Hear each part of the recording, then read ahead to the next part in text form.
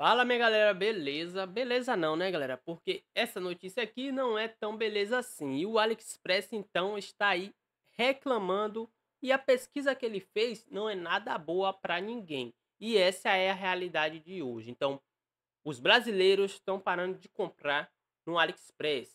Mais da metade dos brasileiros pararam de importar. Vamos aqui para a questão agora dessa notícia, logo após a vinheta.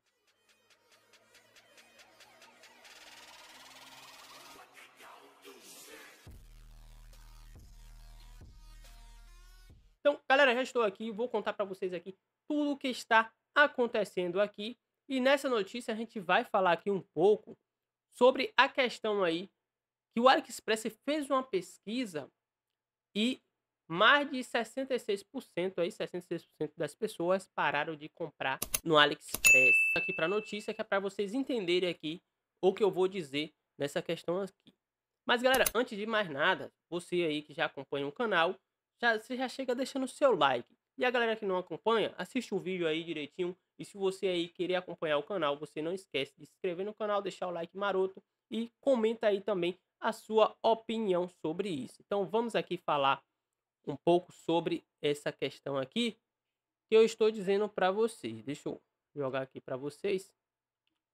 Pronto, já está aí na tela. Tem uma, uma notícia aqui do Tudo Celular. AliExpress diz que o imposto de importação do remessa conforme afastou brasileiro.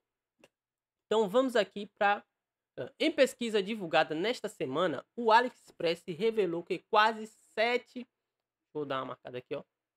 Quase 7 entre 10 consumidores deixaram de comprar nas últimas semanas porque não querem pagar o imposto de importação dentro do programa remessa conforme. Então aí está uma das questões que o AliExpress aí está dizendo, né? Vamos aqui seguir, ó. Segundo, segundo dados publicados, segundo dados publicados pela varejista chinesa, a maior parte dos 66, a maior parte dos 66% que não efetivaram suas compras pertence às classes C, D e E, ou seja, são pessoas de baixo poder aquisitivo e que não encontram outra opção a não ser procurar os mesmos produtos em lojas brasileiras. Além disso, o levantamento também revelou que 75% dos entrevistados se opõem ao aumento de imposto para as plataformas de comércio internacional, como o fim da isenção federal para compras abaixo de 50, dos 50 dólares. Galera, só para vocês entenderem aqui a questão, isso aqui. 66% que não efetivaram suas compras pertencem às classes C, D e E, que é a classe baixo poder aquisitivo, que é dizer o quê? Os pobres, as pessoas que recebem aí um salário mínimo, as pessoas que têm baixo poder de compra, né? Não está dizendo aqui de pessoas ricas. Então, esse tal de remessa conforme só prejudica as pessoas de baixa renda. Não tem jeito. Porque é a maioria que compra e está aqui, ó, 66% pararam de comprar e também não aceita a isenção, o fim da isenção aqui, tipo, a taxa dos produtos abaixo de, 5, assim, abaixo de 50 dólares também, né? Que já tem acima de 50 dólares. E você não deixa de deixar sua opinião aqui, ó. Vamos completar aqui, ó. Outro ponto relevante da pesquisa é que a maioria dos brasileiros recorre às plataformas asiáticas em busca de preços mais atrativos ou até mesmo porque aquele produto não existe no mercado brasileiro. Então, como eu falo a vocês, muita gente sabe aí que as pessoas compram porque lá é mais barato e também alguns produtos você não encontra aqui no Brasil. Os dados do AliExpress mostram que o programa Remessa Conforme conseguiu afastar o brasileiro das plataformas chinesas, mas o varejo segue pressionando o governo federal em busca da taxação total. Então, ainda assim, o varejo brasileiro está pressionando para taxar total. Quer dizer o que? 100% das compras, de um centavo até valor infinito aí que seja. Né? Na visão dos empresários, há uma concorrência desleal, sendo que muitos defendem uma alíquota de 20% para compras abaixo de 50 dólares, sendo que isso também precisa ser somado aos 17% de ICMS, que é 20%, a gente sabe disso, né? Então, olha só, galera, que viagem nessa questão aqui.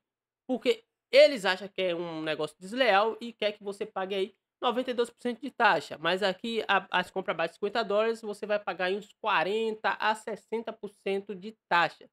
Cara, é algo meio desleal para você e para mim que é baixa renda, né? Não tem aí custos grandes. Vamos aqui passar para outra aqui, ó.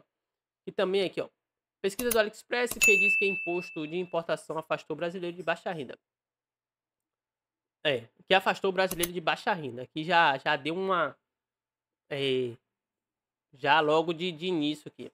Uma pesquisa recente divulgada pelo AliExpress releva que revelou que quase 70% dos consumidores interromperam suas compras devido à relutância em pagar o imposto de importação no âmbito do programa Remessa Conforme.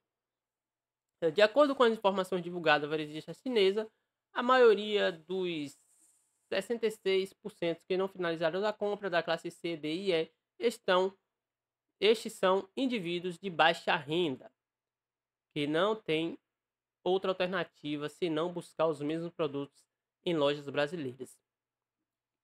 Além disso, a pesquisa também revelou que 75% dos entrevistados são contra o aumento do imposto para as plataformas de comércio internacional, com o fim da isenção federal para compras abaixo de 50 dólares.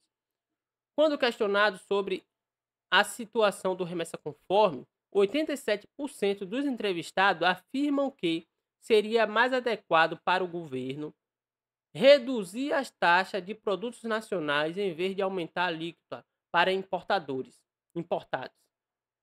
Outro aspecto importante, eu, outro aspecto outro aspecto importante da pesquisa é que a maioria dos brasileiros recorre à plataforma asiática em busca de preços mais competitivos ou até mesmo porque o produto desejado não está mercado brasileiro.